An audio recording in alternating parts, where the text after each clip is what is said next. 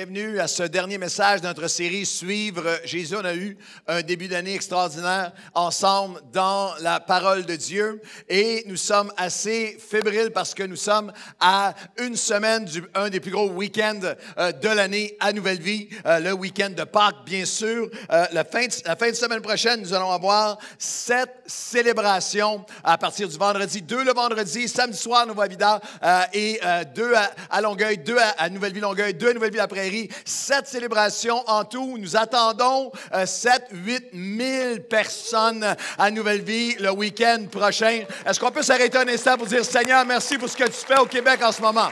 Allez, allez, ceux qui, ceux qui, prient depuis des années, qui disent Seigneur, amène la moisson, allez là. On va avoir une fin de semaine extraordinaire. J'invite vous et ceux qui euh, euh, suivent par Facebook Live, venez vous joindre à nous euh, le week-end prochain, vendredi saint. On a une soirée extraordinaire. Deux, deux fois la même, la même célébration à 16h30. L'année passée, les deux étaient pleines parce que nous avons tous les amis de, des, des, églises autour. C'est un rassemblement de l'Association chrétienne pour la francophonie de l'ACF. Alors, il y a des chrétiens partout à travers le Grand Montréal qui s'en viennent. Alors, il y en a beaucoup qui ont euh, congé euh, le vendredi après-midi, euh, vendredi saint, vendredi du week-end de Pâques. Alors 16h30, c'est une super belle heure. Et aussi à 19h30, également aux deux réunions, on, on prépare quelque chose de magnifique pour vous. On va avoir un écran géant. On va avoir un écran géant d'une dizaine de, mètres avec toutes sortes de présentations visuelles nouvelles, témoignages de vie transformée vendredi saint et dimanche matin, témoignages qu'on n'a pas entendu à la Nouvelle Vie, qu'on prépare pour vous, toutes sorte euh, également la communion ensemble. La chorale prépare euh, des spéciaux messages de feu euh, le vendredi saint. Le vendredi saint, c'est entre croyants, c'est tellement important. tous les chrétiens viennent ensemble. Vendredi saint, dans la présence du Seigneur. Il va y avoir une super activité pour vos enfants également. Et le dimanche matin de Pâques, nos deux grandes célébrations ici sont totalement préparées et priées et jeûnées afin que vous puissiez inviter quelqu'un. C'est le dimanche d'évangélisation euh, de l'année. Vous savez, il y a dans l'ADN religieux euh, des Québécoises, des Québécois, quelque chose qui, on va à l'église à Pâques. Euh, si vous vous promenez dans les quartiers le week-end de Pâques, des églises qui sont, églises traditionnelles qui sont vides toute l'année, tout à coup, les stationnements sont pleins dimanche de Pâques et vides la, semaine d'après parce qu'il y a quelque chose dans l'éthos religieux des Québécois et des gens autour de vous que si vous les invitez, sont prêts. Chantal et moi, on a toute la famille au complet qui vient à la deuxième réunion qui va dîner, à dîner à la maison euh, par la suite euh, pour Pâques. Alors, inviter des gens, on prépare euh, tout un dimanche matin avec l'évangélisation et en avec un message illustré. Vous savez qu'à tous les ans, à Pâques, on y met le, paquet, on a, j'ai un message illustré. Il y a quelque chose cette année que Dieu a déposé sur mon cœur que j'ai tellement hâte de commencer à communiquer. Le dimanche de Pâques, je vais débuter une nouvelle série dimanche prochain, une série qui s'intitule Les quatre promesses de la résurrection.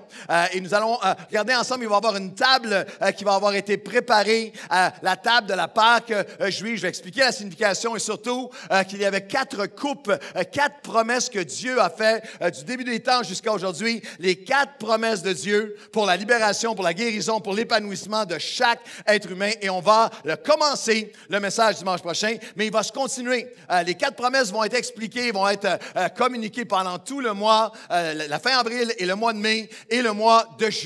Alors, c'est, il y a plein de gens, on prie qu'il y ait plein de gens qui viennent à Pâques et qui soient, euh, l'intérêt, le Seigneur va toucher leur cœur et par la suite vont venir et on va avoir un baptême d'eau le 21 au 23 juin. On vient d'avoir notre premier baptême d'eau de l'année au mois de mars. On a eu 52 personnes qui ont passé par les eaux du baptême et je déclare par la foi encore plus d'âmes la fin de semaine du 21, 22 et 23 juin. Voulez-vous applaudir à l'avance ce que Dieu va faire? Les adultes, oui, mais si vous avez des membres de vos familles qui ont des enfants, il y a, la Ligue a préparé un programme extraordinaire. On a un invité euh, qui est le favori euh, des enfants, Philippe Chart, un marionnettiste euh, exceptionnel. Les enfants le trouvent extraordinaire et il va avoir toute une présentation. Alors, que vos, enfants puissent inviter leurs amis. Il va avoir aussi, je le dis en dernier parce que je sais que ce pas pour ça que vous venez, mais on prépare que dimanche prochain, 4000 personnes et plus, chaque personne va recevoir du chocolat en rentrant ici. 4000 chocolats sont en train d'être préparés. Et à la sortie, chocolat chaud et toutes sortes de gâteries. Les enfants vont avoir des sacs euh, de bonbons. Dites à la personne près de vous, je sais que c'est pas pour ça que tu viens. Dites à la personne près de vous. Mais dimanche prochain, Pâques, c'est plus que du chocolat. Euh, on va avoir un, dimanche extraordinaire. Euh, et juste, euh, j'ai mentionné la série qui va aller jusqu'à Saint-Jean-Baptiste. Et on sait déjà, je vous le dis à l'avance, on sait déjà, on prépare déjà la série d'été à Nouvelle Vie, juillet et août. tous les communicateurs, communicatrices, l'équipe de prédicateurs, prédicatrices de Nouvelle Vie va joindre à moi. Et au mois de juillet et août, notre thème pour l'été va être guérison.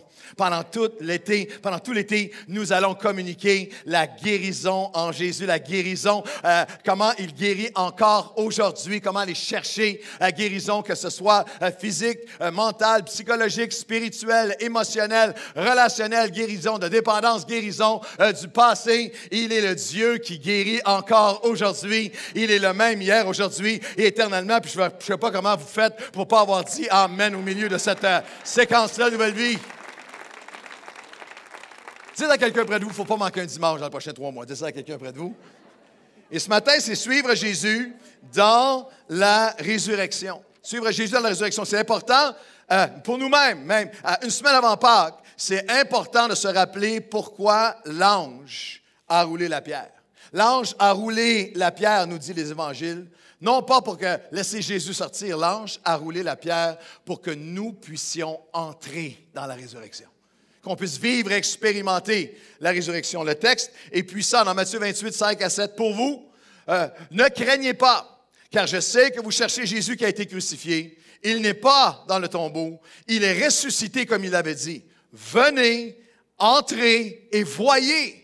Et par la suite, allez promptement le dire à ses disciples qu'il est ressuscité des morts. Ce verset est, formidable de, pertinence, c'est tellement proche encore de notre réalité euh, aujourd'hui, 2000 euh, ans euh, plus tard, parce que encore aujourd'hui, remarquez que le texte commence avec pour vous, ne craignez pas. Et c'est tellement proche de nous, tellement réel pour nous, parce que encore pour nous aujourd'hui, même comme croyants, il nous arrive d'avoir peur de la résurrection, de craindre la résurrection de craindre que Dieu, on s'est habitué à quelque chose, de craindre que, que la, résurrection de, de, de, de l'amour, de craindre la résurrection euh, du pardon. Non, je veux pas, je n'ose pas. Craindre la résurrection d'un mariage, d'une relation, d'un couple, d'une famille. Craindre la résurrection de, de ton... Non, je, ça m'a fait trop mal, je veux pas, je veux pas retourner là. Il y a des gens qui sont ici de chrétiens de longue date et euh, vous pouvez en venir à craindre la résurrection de, votre zèle, de votre passion. Il y a eu un moment dans votre vie où votre cœur était tellement passionné à servir Dieu, à tout donner pour lui. Il y a des situations qui, sont arrivées qui ont fait en sorte que vous êtes un peu éteint, un peu assis. Puis il y a presque une crainte de la résurrection. Et cette, cette crainte dans la Bible nous dit Dieu ne nous a pas donné un esprit de crainte, euh, un esprit de force et d'amour et de sagesse. Et cette crainte-là est le pire voleur. Cette, cette crainte est, une, est un, un avorteur. Cette peur est un avorteur des plans et des desseins de Dieu. Et nous commençons ce matin en disant, Seigneur, je ne crains pas ta résurrection. Viens prendre ma vie et viens ressusciter tout ce qui doit être ressuscité en moi au nom de Jésus. Est-ce que vous dites oui?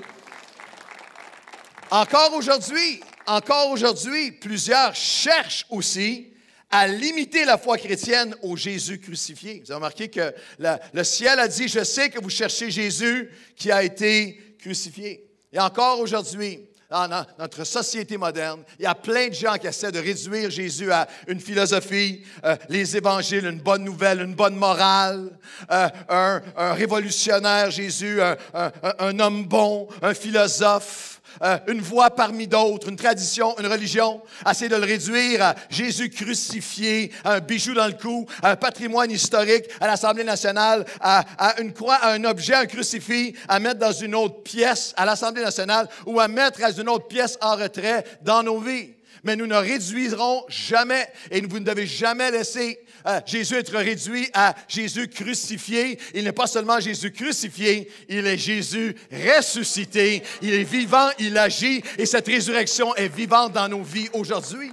La résurrection du Seigneur est vivante. Encore aujourd'hui, le ciel nous appelle à entrer, à voir et expérimenter la résurrection. Venez, entrez et voyez la résurrection. C'est un une des promesses de la Bible que je ramène à chaque année à Pâques. Elle vibre dans mon cœur. Elle n'est pas seulement pour Pâques, elle est pour toute l'année et pour chaque situation. L'apôtre Paul a dit, si le même esprit qui a ressuscité Christ d'entre les morts, euh, demeure en vous, il vous redonnera la vie. Et littéralement dans le grec, il vous ressuscitera. J'aimerais dire que nous marchons nous marchons avec cette confiance que, que Pâques, c'est, c'est la, la possibilité que quoi que ce soit qui est mort en moi soit ressuscité par la main de Dieu. La joie est morte en moi. il veut ressusciter ma joie qui a pu avoir été perdue. Ma paix, ma foi, ma confiance, l'amour, la capacité à me, à me donner. Il est le Dieu de la résurrection. C.S. Lewis a dit, la résurrection, c'est, la, c'est l'inverse, c'est la mort à l'envers la mort œuvre en nous de jour en jour jusqu'à jusqu'à la fin, jusqu'à ce qu'on s'éteigne. Lorsque tu deviens chrétien et tu, tu laisses l'Esprit de Dieu habiter en toi, la résurrection, à chaque jour de ta vie, si tu laisses l'Esprit de Dieu agir, tu le désires, tu la recherches, tu la poursuis, la résurrection fait son œuvre dans ma vie, dans chaque saison de ma vie. Ressuscite ce qui est mort en moi, de résurrection en résurrection jusqu'au jour où cette, cette enveloppe s'éteint. Et là, c'est la résurrection entière avec Dieu, avec lui pour l'éternité. Vous devez dire Amen, c'est la résurrection. Encore aujourd'hui, il nous appelle à annoncer la résurrection. Non seulement venez, entrer et voyez, mais allez promptement dire, allez promptement annoncer qu'il est ressuscité. C'est ce qu'on va faire toute l'année, mais c'est ce qu'on va faire le dimanche matin prochain. Alors, une première question dans ce message, avez-vous quelqu'un que vous invitez, que vous savez en ce moment, que vous travaillez à inviter pour Pâques? Si je traverse les allées, je vais vous demander c'est quoi les noms de personnes que vous invitez avez-vous quelqu'un? Deuxième question, est-ce que ça, ça fait combien de temps que vous n'avez pas partagé votre foi? Juste parler à quelqu'un de la résurrection. Annoncer à quelqu'un la résurrection. Ce n'est pas seulement quelque chose qui se fait le dimanche à l'église, que vous soyez assis dans, la salle ou que vous soyez le pasteur euh, sur l'estrade. Le dimanche, la fin de semaine dernière, j'étais en Floride pour aller faire le mariage de la fille de pasteur Mark qui marie un bon euh, garçon là-bas euh, en Floride. On était là-bas. Et à, l'aéroport, en arrivant dans, le taxi, le chauffeur commençait à me parler Vous êtes ici pourquoi? Je un mariage, je suis un pasteur? Et là, il commencé à me dire tous ses, ses, déboires avec sa religion. Et là, je me suis mis à lui témoigner dans le tour. On était rendu à l'hôtel, on était je continuais à lui parler. Lorsqu'on est sorti, elle a dit oh, merci, priez, priez pour moi. Et dans le taxi, en revenant, en revenant au Québec le lundi à 1 h du matin, euh, tout le long de la, route, on arrive à, la maison et puis 1 h du matin, Chantal rentre avec les deux petites valises. Moi, je sors avec le chauffeur de taxi, on sort les grosses valises. Puis il me pose la question, euh, un ami libanais, puis il me dit Est-ce que vous êtes docteur Je ne sais pas pourquoi est-ce que pensait ça, j'ai peut-être une valise un peu euh, de docteur. Non, je ne suis pas docteur, je n'ai pas le salaire de docteur. Est-ce que vous êtes docteur? J'ai dit non, je suis pasteur. Et là, je pensais des fois, ça, ça décontenance. Non, ah, il se met à me raconter tous les problèmes, les difficultés de sa vie, etc. Et là, je lui parle du Seigneur, je lui parle de l'Évangile, je l'invite le dimanche matin euh, de Pâques. Je dis, Pâques, on est ici. Et finalement, vers la fin, j'avais, cette, euh, cette, pensée dans mon cœur. Je dis, voulez-vous que je prie pour vous tout de suite ici maintenant? Ah oh, oui, s'il vous plaît, priez pour moi. Alors, et mon épouse, elle rentre dans, la maison, et 15 minutes plus tard, je ne suis pas encore entré. Elle regarde dehors, elle regarde dans le stationnement. Et euh, une heure du matin, dans le stationnement, en train de prier avec le monsieur. Et j'ai eu une pensée parce qu'on a déménagé là récemment. J'ai plein de nouveaux voisins. Euh, et j'ai eu un flash d'un nouveau voisin, peut-être qui regardait par la fenêtre à 1 h du matin, et dit Chérie, il est spécial, là, ce voisin-là, avec le chauffeur Hier, j'étais au gym. Hier, j'étais au gym euh, sur l'elliptique et tout à un monsieur à côté de moi, 15 euh, ans de plus que moi, mais en top shape, crinière blanche et puis en forme, puis il commence à me jaser. et puis moi, j'ai dit, j'aime ça venir la fin de semaine, j'aime ça, samedi, dimanche, il y a moins de monde, j'aime ça. Il dit, je vous ai déjà vu. Il dit, je vous ai vu des fois, comme aujourd'hui, samedi. Il dit, je vous ai jamais vu un dimanche. Je disais, non, je dis, le dimanche, moi, je vais à l'église. Il, est presque tombé en bas de son elliptique. Comment ça, vous allez à l'église? Il dit, à tous les dimanches. Je dis, oui, je vais à l'église à tous les dimanches. Il dit, à l'église catholique. Je dis, non, non, non, l'église euh, chrétienne évangélique. Puis je commence à, commencer à vouloir y expliquer une nouvelle vie. Il connaissait déjà, ah oui, à côté du, oui, je connais ça, je connais du monde qui va là. Il dit, vous y allez à tous les dimanches? Je dis, oui, je vais à tous les dimanches. Je n'ai pas dit ce que je faisais le dimanche, là, encore. Là, j'ai dit dimanche matin de Pâques, 9h, 11h30, voulez-vous venir? Il dit, ah, je pense que je vais vous prendre au mot. Alors, s'il est ici dimanche matin prochain, il va voir que son compagnon d'elliptique, il vient vraiment à l'église à tous les dimanches. voulez-vous, voulez-vous applaudir ce que Dieu va faire à travers nous tous alors que cette semaine, on va aller annoncer promptement qu'il est ressuscité? Une raison pour laquelle parfois on est un peu en panne, on est un peu en panne sèche ou en ralentissement de notre cœur ou notre zèle ou notre courage de partager notre foi, c'est qu'on a besoin nous-mêmes d'un rafraîchissement sur ce que la résurrection signifie réellement pour chacun d'entre nous. Alors ce matin, avant de l'annoncer à des milliers la semaine prochaine et toute l'année, on va regarder ensemble l'Évangile de Marc chapitre 16 et je veux simplement vous inviter à venir, entrer, venez. Venez encore, mais comme si c'était la première fois, que vous soyez tout nouveau, que tous ceux qui sont là pour la première fois, ou ceux qui sont là depuis des décennies à marcher euh, avec le Seigneur, venez et voyez, entrez, entrons ensemble dans la résurrection. Marc chapitre 16, les versets 1 à 8. Lorsque le sabbat fut passé, Marie de Magdala, Marie la mère de Jacques et Salomé achetèrent des aromates afin d'aller embaumer Jésus. Le premier jour de la semaine, le dimanche, elles se rendirent au sépulcre de grand matin, comme le soleil venait de se lever. Elles disaient entre elles, Qui nous roulera la pierre loin de l'entrée du sépulcre? Et levant les yeux, elles aperçurent que la pierre, qui était très grande, très lourde, avait été roulée.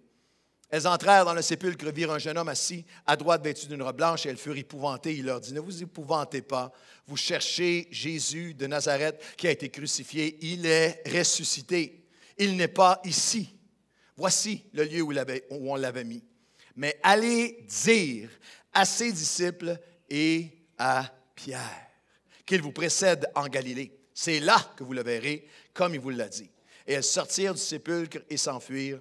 La peur et le trouble euh, les avaient saisies et elles ne dirent rien à personne à cause de leur effroi entrer dans la résurrection, euh, suivre Jésus dans la résurrection. Juste un rappel ce matin que la résurrection, c'est une réalité qui est invisible. La résurrection, euh, c'est un rappel et un refus parce que nous servons le Dieu de l'impossible. Et la résurrection, c'est un rendez-vous et une invitation qui est illimitée. La résurrection, c'est une réalité invisible. Les gens qui sont hors de la foi chrétienne ont souvent une mauvaise perception mauvaise perception de la nature de notre foi comme chrétien. Ils pensent que la foi, j'ai lu euh, deux articles cette semaine, ça m'a frappé, deux articles qui, qui faisaient allusion à ça. Ils pensent que, que notre foi est une question d'imagination, que les chrétiens sont en fuite de la réalité et essaient de vivre dans un monde imaginaire, un monde de déni. Le christianisme n'est pas une question d'imagination. Le christianisme est une question de révélation. Ma foi n'est pas un déni de la réalité. C'est que j'ai fait la découverte de la réalité, d'une réalité encore plus profonde, d'une réalité invisible, d'une réalité qui est vivante, qui est active, euh, une réalité qui guide ma vie, la réalité de Jésus-Christ qui est ressuscité. Je ne suis pas en déni de la réalité matérielle et terrestre. J'ai une révélation, je connais, j'expérimente une réalité encore plus profonde, encore plus réelle, encore plus active est vrai que Dieu désire offrir à chacun. Est-ce qu'il y a quelqu'un d'autre qui la connaît ici ce matin? La, première dimension, lorsqu'on parle du, de, de, la résurrection, il y a une dimension qui est, il y a des réalités qui sont invisibles. Sa vie est réelle. Son espoir est réel. Son action dans nos vies est réelle. Le, pardon qu'il nous donne est réel. La capacité surnaturelle pour ceux qui le laissent agir de pardonner d'autres est réelle. La joie qu'il donne, la paix qu'il donne à travers les épreuves est réelle. Je ne sais pas comment vous faites pour faire ce segment-là sans dire Amen, le segment au complet. Je pars une semaine, je vous reconnais plus une nouvelle vie. Dit, sa joie est réelle, sa paix est réelle, son amour est réel, son action est réelle. Dans le combat spirituel et dans la marche avec Dieu comme peuple de la résurrection, il y a des réalités spirituelles qui nous confrontent. Je suis, nous nous identifions à ces femmes et, la réalité du combat spirituel qu'ils vivaient, la réalité de, nos fuites, la réalité de nos, frayeurs. C'est fascinant de voir que comment, comme nous, la Bible nous dit qu'elles eh, ont elles sortir, elles sont dans le lieu de la résurrection, mais elles sortirent du sépulcre et elles s'enfuirent. La question de l'esprit pour chacun d'entre nous, question de Dieu pour toi, pour moi, c'est qu'est-ce que tu fuis ce matin? Parce que souvent, même si nous servons le Dieu de la résurrection, il y a ces saisons parce qu'elles ne comprennent plus ce qui se passe, parce que tout est hors de leur contrôle, parce que rien n'arrive comme elles pensaient. Elles sont en fuite. il est, pas, il est plus que possible, il va arriver à chacun d'entre nous d'avoir cette tentation juste de fuir de fuir son amour, de fuir son appel, de fuir les engagements que nous avons pris, de fuir les alliances qu'on a prises, de fuir la volonté de Dieu pour nos vies, de fuir ses promesses, de fuir le pardon, de fuir l'appel, la, destinée qu'il a préparée pour chacun d'entre nous. Ils ont, elles, ont, elles étaient en fuite. Elles étaient en fuite parce qu'elles avaient... Euh, et la réalité de nos fuites sont enracinées dans nos frayeurs. Le, verset dit, elles sortirent, on l'a lu ensemble, elles sortirent du sépulcre et s'enfuirent. La peur et le trouble les avaient saisies et elles ne dirent rien à personne à cause de leur peur et de leurs effrois. Je me, je me demande, et avec amour, douceur, tendresse et tout son amour, toute sa, sa connaissance de ce que tu traverses, Dieu demande ce matin, est-ce qu'il y a des choses que, qui te font tellement peur que tu ne peux même pas en parler. La Bible dit, ils n'ont rien dit tellement, ils avaient peur. C'est ces angoisses, ces peurs qui, sont, qui deviennent paralysantes, qui sont plus plus que des inquiétudes, une peur qui, qui infecte ton être tout entier. Ça peut être une peur pour toi-même, une peur euh, pour quelque chose qui est arrivé, une peur pour tes enfants, tes petits-enfants, une peur pour ton présent, pour ton, pour ton avenir, une peur pour que qu'est-ce qui va m'arriver, peur de la solitude, peur de la maladie, euh, peur euh, de, de, choses que... oui, oui, c'est une peur qui est pire que des inquiétudes, une peur qui infecte mon être entier une peur qui m'isole, une peur qui, qui, qui, est intérieure. Euh, je, garde l'image, je protège l'image, mais comme elle, j'ai à peine capable d'en parler. C'est une peur, une peur où, euh, Dieu semble maintenant invisible. Parfois, nous semble insensible, où Dieu semble immobile, où Dieu, euh, où la situation semble irréversible. La peur de l'échec, la peur de donner, la peur de me donner, la peur de perdre donner, la peur de recevoir, la peur de risquer euh, d'aimer à nouveau, la peur de le servir, la peur de lui faire euh, confiance ou de faire confiance.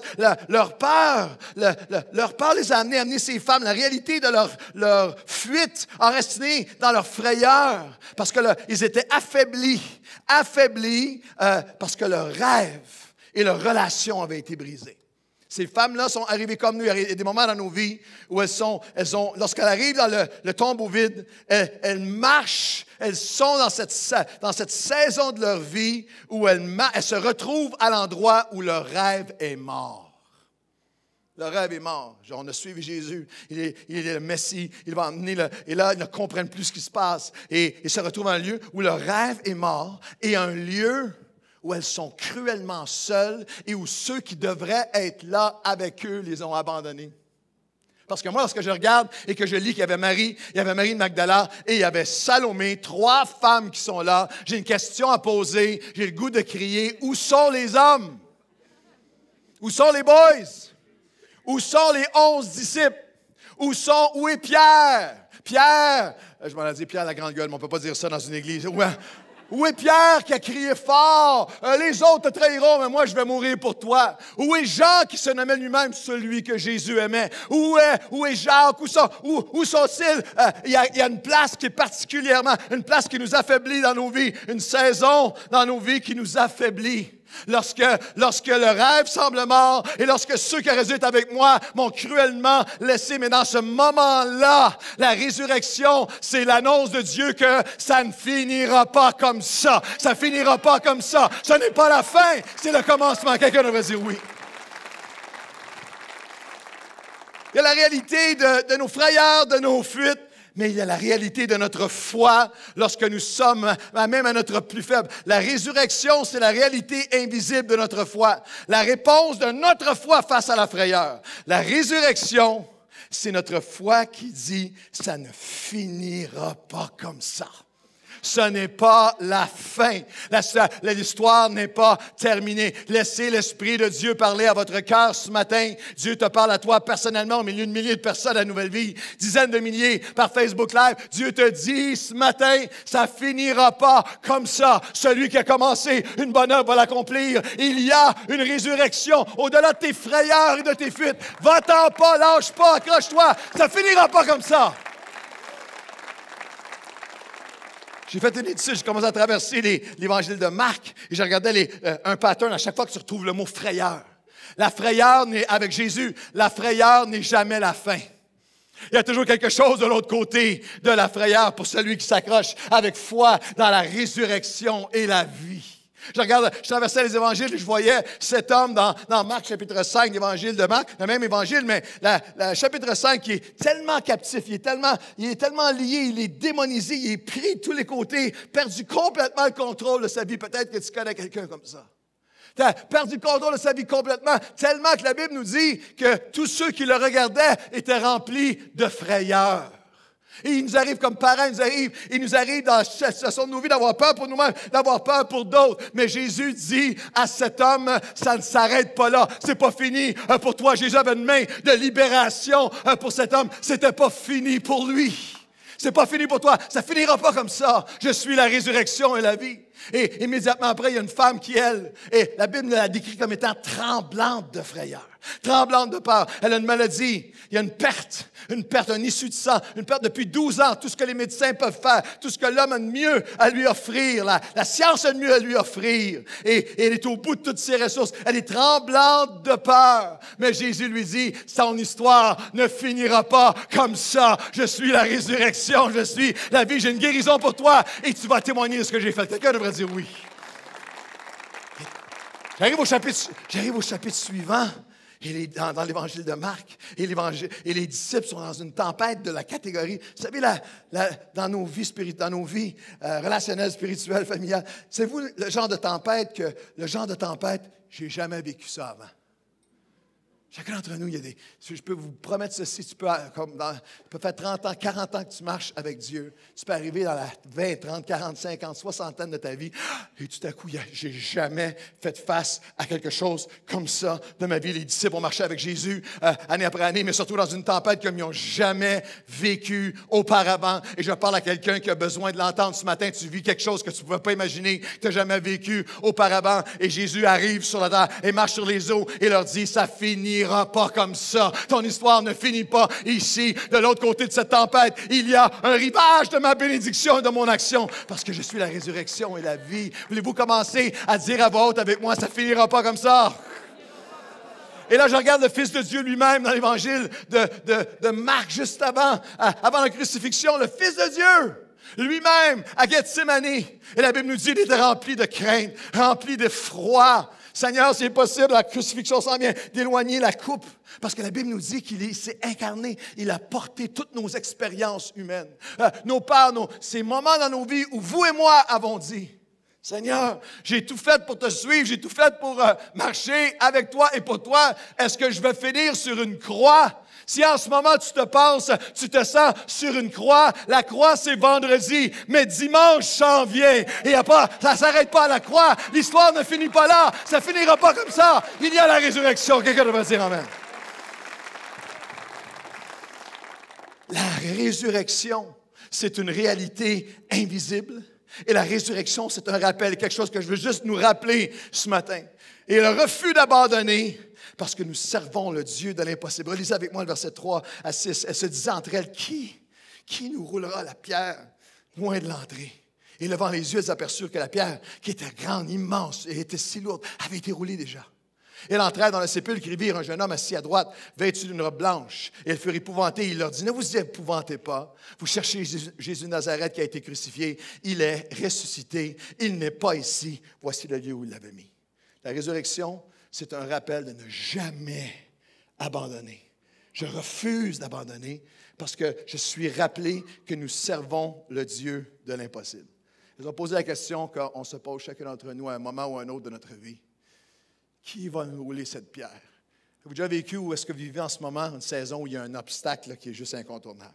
Il y a un obstacle. Moi, par mes forces, je ne peux pas. C'est impossible. Je ne vois même pas de l'autre côté. Qui, qui, peut rouler cette pierre? Il y, a, il y avait un obstacle incontournable. Mais la résurrection, c'est le rappel et le refus d'abandonner parce que Dieu a déjà roulé la pierre pour laquelle tu te tourmentes et tu t'inquiètes en ce moment. Parce que l'évangile de Matthieu, il faut que tu regardes les quatre évangiles ensemble et tu fais le, synopsis ensemble. Et là, tu peux faire la chronologie, puis tu peux faire le collage. Et, littéralement, euh, dans la chronologie, pendant qu'elle, elle marche, c'est très, très tôt, là, il est 4 heures, il est 5 heures du matin, avant que le soleil se lève, pendant qu'elle marche en s'inquiétant, comment est-ce que je vais sortir de ça? Comment est-ce que je vais me ça? Comment est-ce que je vais passer à travers ça? Comment est-ce que je vais passer à travers cette épreuve? Comment est-ce que je peux rouler cette pierre? Comment? Qui, qui peut faire? Pendant qu'elles étaient en train de se tordre les mains et le cœur d'inquiétude, La, Bible nous dit dans Matthieu 28, 2, et voici, il y a un grand tremblement de terre car un ange du Seigneur descendit du ciel et vint rouler la pierre et s'assit dessus. J'aimerais t'annoncer, bonne nouvelle de Pâques, la résurrection, c'est qu'il y a déjà un ange en route euh, pour rouler la pierre pour laquelle tu t'inquiètes. Dieu marche devant toi et la résurrection est pour toi. Je vais le dire de différentes, façons pour que ça percute peut-être avec euh, de différentes personnes, euh, avec ton cœur de manière différente. Dans les ténèbres, Dieu travaille déjà ton témoignage. Est-ce que vous savez que Dieu fait certains de ses plus grands miracles dans les ténèbres? Lorsque tu vois rien, euh, la fin du sabbat, la nuit. Euh, ils sont arrivés avant le, lever du soleil. Ils ont marché en se tordant les mains dans les ténèbres. Mais Dieu était déjà en train. Dieu avait déjà euh, commencé à accomplir le témoignage. Je dirais de cette façon, pendant que tu marches vers ce qui te semble mort, le Maître est en mouvement pour préparer le miraculeux dans ta vie, dans tes enfants, dans ton futur, dans, dans chaque situation de ta vie. Pendant que toi tu marches, et les femmes marchaient vers ce qui semblait être la mort, mais l'ange était déjà là. Je le dirais de cette façon, pendant euh, que, ta, que ta déception ne laisse jamais ta déception te voler ta destinée. Laisse pas ta déception te voler ta destinée. Vous vous imaginez ce qu'aurait pu s'ils avaient tourné en chemin?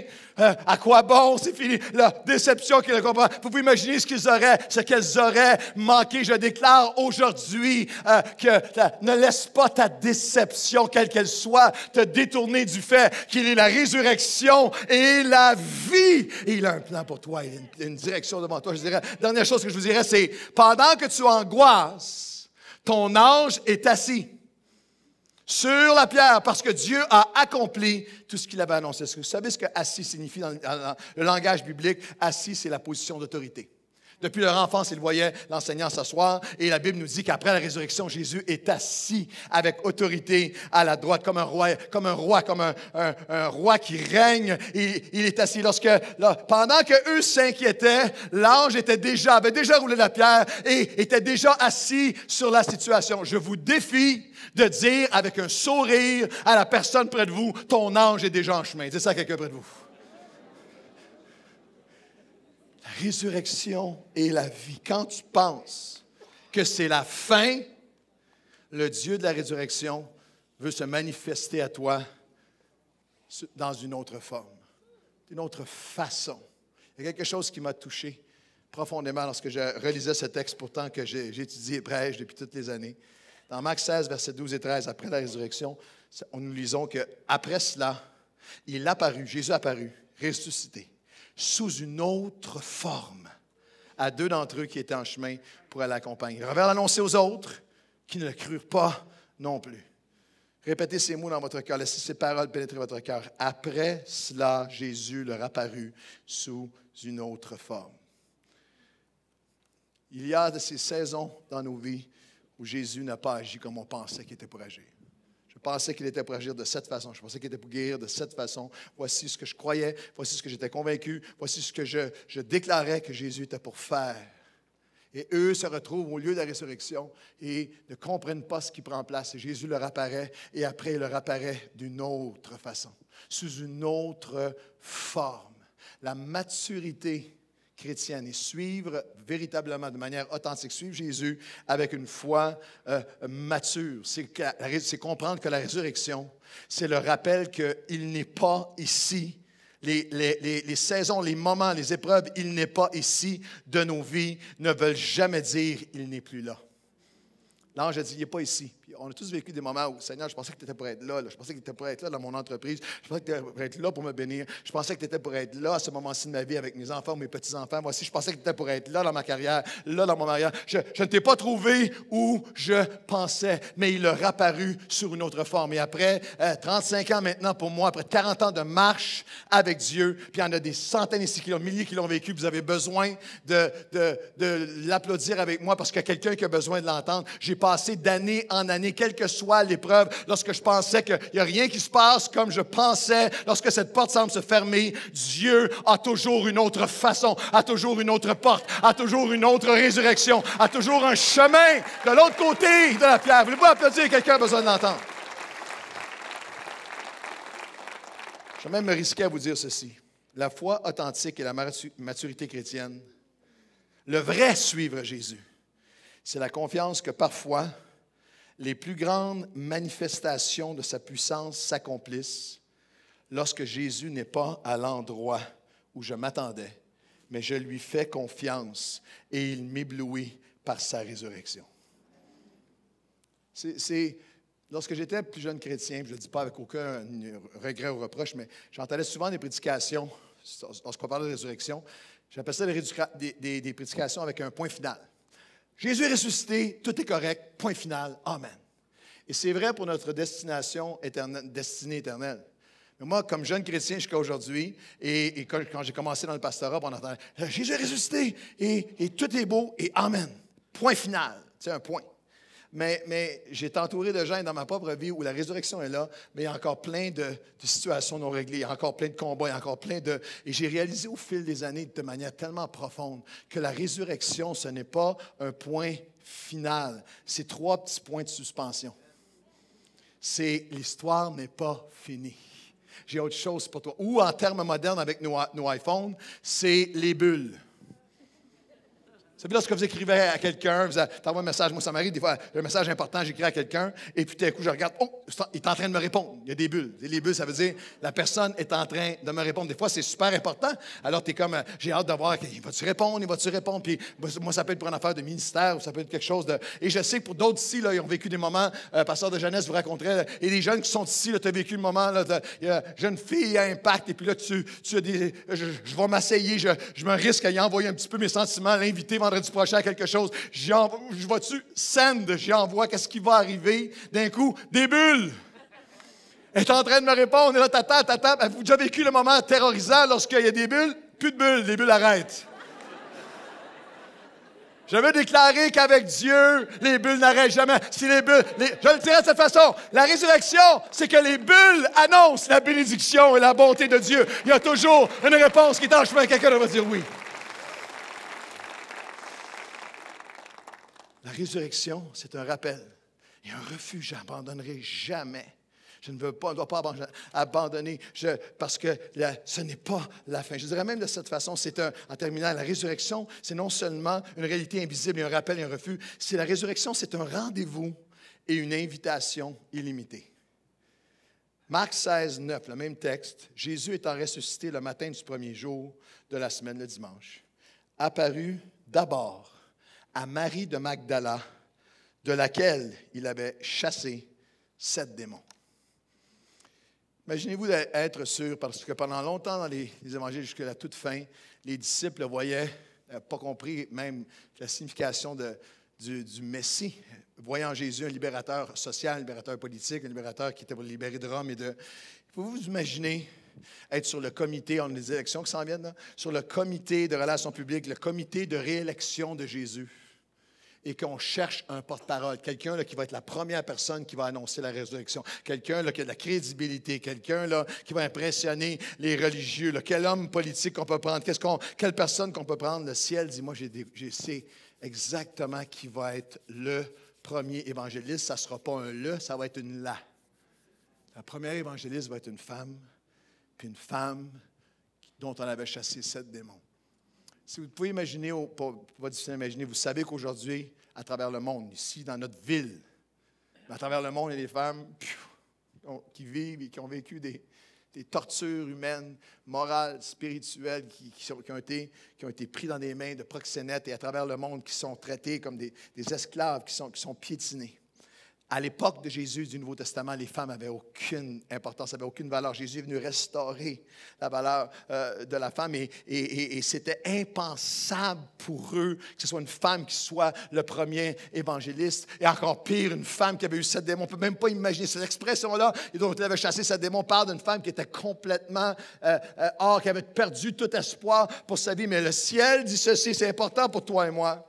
une femme rejetée va être la première à annoncer annoncer ma résurrection. Une femme euh, qui avait été complètement liée va annoncer la liberté que moi j'offre. Une femme qui avait été dominée va annoncer la délivrance que Jésus donne. Une femme qui, qui avait perdu tout espoir va être la première évangéliste parce que cet évangile est sans limite. Il invite chaque personne, quel que soit son passé, à une transformation par la résurrection. Présidente de la campagne, la femme avec sept démons. Vice-président, allez annoncer, allez dire à mes disciples que je suis ressuscité et à Pierre. Vous dire à votre avec moi, et à Pierre. Dites-le avec le même ton, et à Pierre. Pierre. Oui, allez-vous en Galilée. C'est là que vous le verrez, comme il vous l'a dit, comme Jésus l'avait annoncé, comme il l'avait prédit. La résurrection, c'est un rendez-vous en Galilée. La Galilée, c'était l'endroit où il y avait eu le plus de miracles.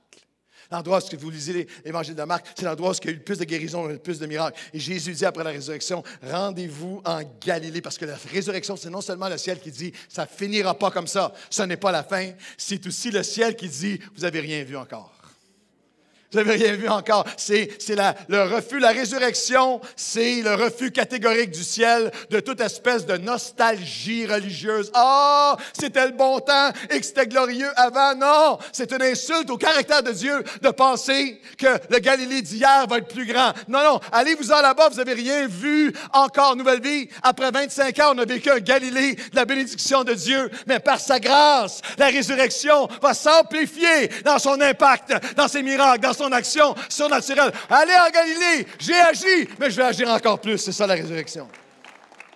Et c'est aussi l'hallucinant, c'est aussi l'hallucinant rendez-vous illimité et incompréhensible. Allez l'annoncer à mes disciples et à Pierre et à celui qui a trahi et à celui qui s'était vanté le plus et qui a commis le pire échec, à celui qui a pleuré amèrement, à celui qui a maudit et blasphémé pour prouver qu'il ne me connaît pas, à celui qui pense qu'il n'a plus de chance pour lui-même, à celui qui pense que c'est trop tard, trop loin, trop creux, trop, va lui annoncer à lui, va annoncer à celui qui pense qu'il est fini, qu'il n'y a plus d'espoir pour lui, et dis-lui de se préparer. Préparer quoi?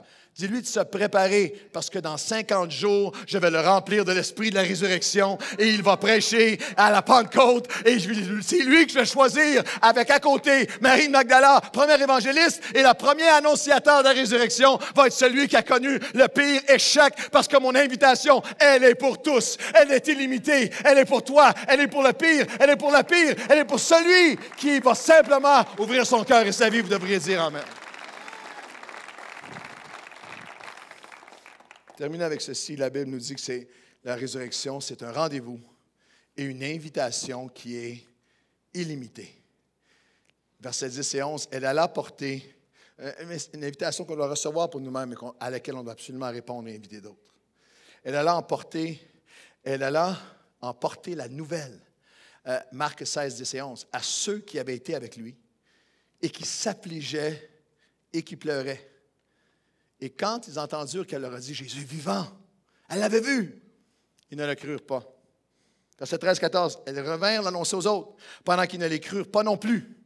Enfin, il apparut aux onze pendant qu'ils étaient à table. Il leur reprocha leur incrédulité et leur dureté de cœur, parce qu'ils n'avaient pas cru, ceux qui l'avaient vu ressusciter. Il y a une progression aussi. Il y a des gens qui sont affligés et qui pleurent. Ça peut être publiquement, ça peut être sur leur visage ou ça peut être secrètement dans leurs âmes, et ça produit quelque chose. Ils sont affligés, ils ont été blessés, ils souffrent et ça produit de l'incrédulité. Jésus dit, ils ont le cœur dur. Ils ont le cœur dur, leur cœur est, fermé, leur cœur est, dur.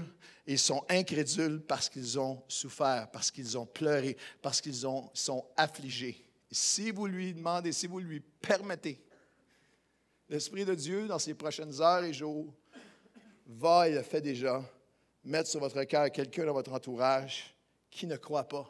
Quelqu'un qui dit ne pas croire, quelqu'un qui a l'air d'avoir le cœur dur, quelqu'un qui a l'air fermé, quelqu'un qui... Mais la raison est qu'il a été, elle a été affligée, elle a pleuré. Des personnes qui ont été blessés très souvent, les personnes qui ont été déchirées, et d'une manière globale dans notre province, les gens qui ont été déchirés et affligés par la représentation de Christ à travers les, messagers religieux qu'ils ont connus, qui souvent ont déchiré et ont abusé, répondent souvent à nous au message de la résurrection. Il est vivant, je l'ai vu. Regarde ce qu'il a fait dans ma vie. Leur première réaction à cause de leur, des pleurs, à cause de leur affliction, en est souvent une de dureté, une de fermeture, une de je ne crois pas. Mais la Bible nous dit que l'Esprit de Dieu dit encore allez par tout le monde, allez faire l'invitation, prêcher la bonne nouvelle à toute la création. Regardez bien ce qui va arriver. Le Seigneur, après leur avoir parlé, fait enlever. Il est assis à la droite de Dieu et s'en allèrent prêcher partout. Le Seigneur travaillait avec eux et confirmait la parole par les miracles qui l'accompagnaient. C'est ainsi que depuis 2000 ans, le royaume de Dieu remplit la terre. C'est ainsi que cette Église se multiplie jusqu'à des milliers et des milliers d'autres. Ils ont été affligés, ils ont le cœur meurtri. C'était toi, c'était moi. Et alors que les premières fois et pendant des fois, des années, des gens nous ont parlé, est ressuscité, nous répondions avec dureté et avec incrédulité. Mais le Seigneur travaillait, le Seigneur travaille marche devant toi, prépare des cœurs, travaille des cœurs et va par le miraculeux appuyer ton témoignage. Ils vont venir à la résurrection et découvrir le Jésus ressuscité. Voulez-vous dire un dernier grand Amen et Amen?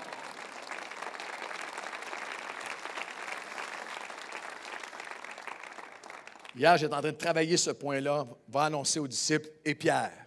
Puis je méditais sur le fait que Oh Dieu, tu vas travailler, a tellement de épierres des gens autour de nous que tu vas aller chercher, tu vas aller chercher leur, cœur. Et pendant que je suis en train d'étudier, hier après-midi, samedi, je suis en train d'étudier, tout d'un coup, un, courriel qui rentre, je regarde du coin de l'œil, ah, c'est Steve.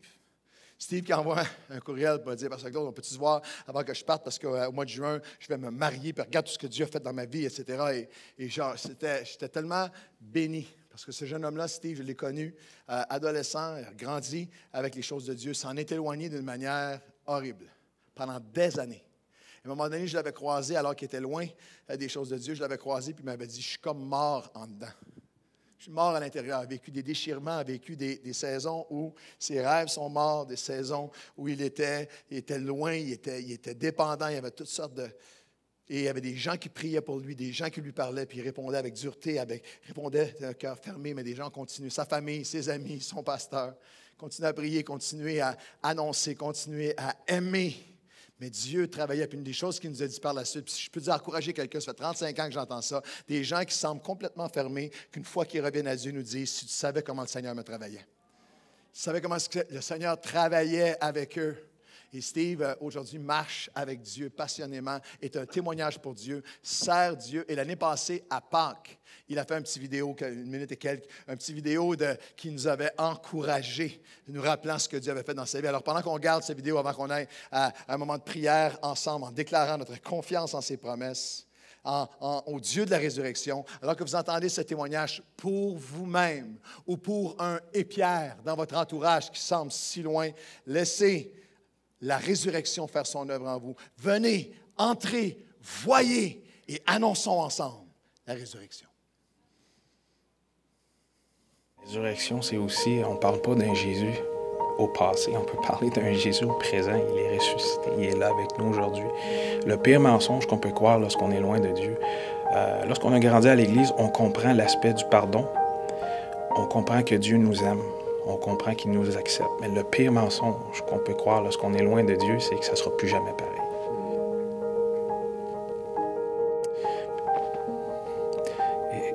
Quand je parle du plan parfait, c'est que Dieu nous dit que non, il n'y a rien qui a changé. Lorsque tu reviens, le plan parfait, il va utiliser tout ce que tu as passé.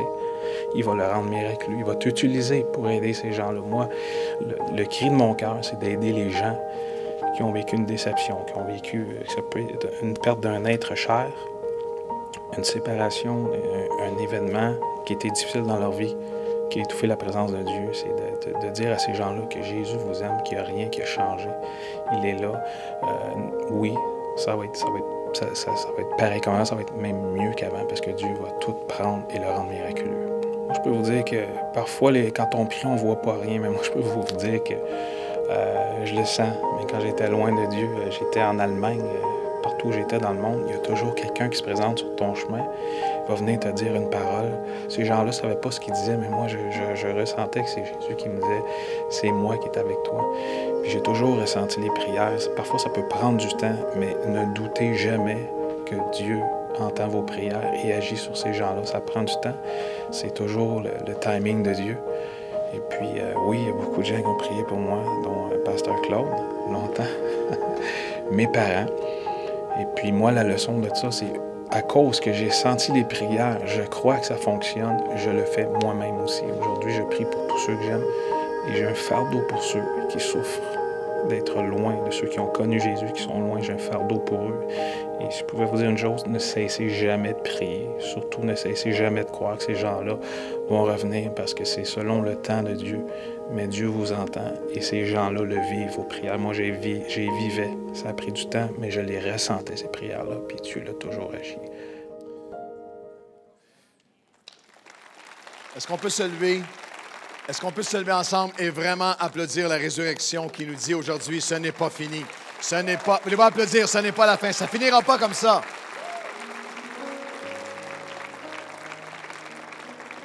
Pâchez la tête avec moi, un moment dans votre vie qui peut faire une différence parce que la résurrection, elle est réelle pour toi aujourd'hui, si tu la laisses agir. Seigneur, on est devant toi aujourd'hui, on dit ici, des résurrections qui me faisaient peur. J'avais peur même que tu agisses dans cet aspect-là de ma vie parce que j'ai peur d'être déçu à nouveau. J'ai peur que tout tourne à rien. Aujourd'hui, je t'offre ce qui est dans ma vie qui a besoin d'être ressuscité. Tu es seulement bonté et amour. Alors je t'offre, je te prie, viens, viens guérir mon cœur blessé. Viens ressusciter ce qui était mort en nous. Seigneur Dieu, je ne fuirai pas. Je ne fuirai pas ce que tu m'appelles à être et à faire. Je ne courrai pas loin de la résurrection. Seigneur, même si je marche vers ce qui semble, semblait mort à mes yeux, je sais que tu es en mouvement, que tu agis, que tu as. Seigneur, je prie pour chacun des hommes et femmes au son de ma voix qui ont une pierre immense devant eux. Et ils avaient abandonné, c'est trop, c'est trop, c'est pas bougeable, c'est pas changeable. Oh mon Dieu, ce matin, nous levons nos cœurs vers toi. Remplis nos cœurs avec cette vision surnaturelle que tu es là et que tu roules la pierre devant nous. Que tu roules la pierre devant nous, Seigneur Dieu. Et aujourd'hui, Seigneur, je veux me confier en tes promesses. Et je viens, je te prie non seulement pour moi, je te prie pour des gens au son de ma voix ici ce matin qui peut-être sont dans la catégorie et Pierre. Pour moi, c'était trop tard, c'était trop loin, j'aurais jamais pensé que. Et le Seigneur appelle leur nom précisément, personnellement et intimement et Claude et Chantal, et toi, et toi, et toi, et toi. Reçois ce matin l'appel personnel de Dieu. Lève ta tête et ton cœur. Et j'entends ta voix qui me dit, Seigneur, mon fils, ma fille, ce n'est pas, la fin. Ça ne sera pas la fin pour toi. Ce n'est pas un point final, c'est des points de suspension. Maintenant, je prépare une œuvre pour toi. Et ce matin, Seigneur, conduis-nous nous voulons dire ta, ta fidélité est grande. Nous voulons dire tes promesses sont vraies et ta fidélité est grande. Et nous voulons, Seigneur, déclarer ta fidélité ensemble dans le nom de Jésus. Et le peuple de la résurrection dit un grand Amen et Amen. L'équipe d'adoration, juste avant qu'on peut applaudir ensemble la résurrection.